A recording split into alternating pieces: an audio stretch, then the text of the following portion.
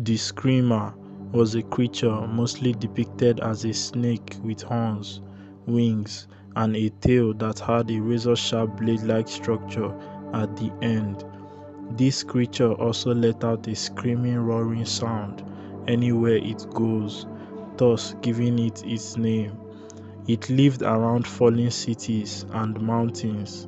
It was speculated that some had the ability to live in water, but without a doubt, these creatures were definitely able to stay in large bodies of water for long periods of time.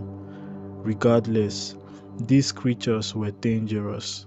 In fact, they were referred to by many tribes as the messengers of death.